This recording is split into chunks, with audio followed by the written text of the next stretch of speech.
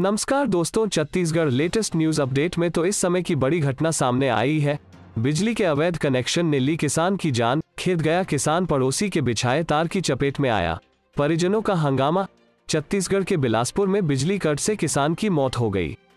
इस घटना के बाद गुस्साए परिजनों ने जमकर हंगामा मचाया। उनका कहना था कि बिजली का अवैध कनेक्शन लेकर बोरवेल लगाया है, जिसके चलते उनके घर कमाने वाले की मौत हुई है। उन्होंने कार्रवाई की मांग करते हुए शव उठाने से मना कर दिया। घटना मस्तूरी थाना क्षेत्र की है। लिमित्रा पंचायत के ग्राम खपरी में रहने वाले संगुलाल टंडन किसान थे। सोमवार सुबह वे धान की निंदाई के लिए अपने खेत जाने के लिए घर से निकले थे। पड़ोसी किसान ने अपने खेत में कांटा तार लगा रखा है।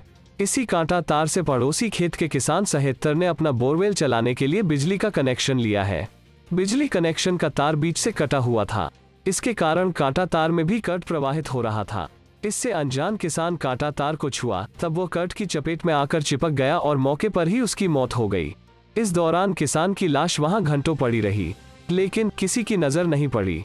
दोपहर करीब तीन बजे ग्रामीण खेत की ओर गए। मेड़ के पास किसान की लाश देखकर उन्होंने उनके परिजन को सूचना दी। घटना की जानकारी मिलते ही परिजन वहाँ पहुँच गए। फिर कुछ देर बाद पुलिस भी पहुँच गई।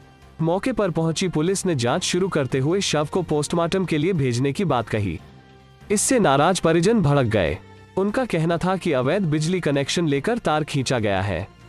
बोरवेल लगाने वाले किसान की लापरवाही से उन्होंने मौत होने का आरोप लगाया और तत्काल कार्रवाई करने के साथ ही मुआवजा दिलाने की मांग पर अड़ गए।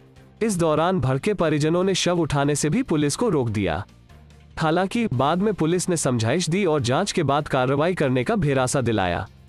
साथ ही मुआवजा राशि दिलाने की बात कही। पुलिस की समझाइश पर परिजन शांत हुए, तब जाकर शाम को किसान के शव को उठवाकर अस्पताल भेजा गया। देर शाम होने के कारण उसका पोस्टमार्टम नहीं हो पाया है।